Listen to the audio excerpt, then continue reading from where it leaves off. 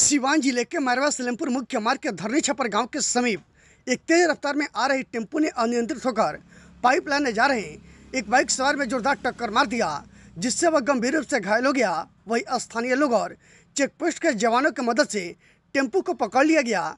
स्थानीय लोगों की मदद से घायल को मैरवा के रेफर अस्पताल में इलाज के लिए भर्ती कराया गया, जहाँ घायल की हालत नाजुक होने पर उसे सिवान सदर अस्पताल रेफर कर दिया गया। चिकित्सक ने बताया कि घायल का दाएँ पैर फ्रैक्चर हो गया है। घायल युवक गोविंद कुमार बताया जाता है।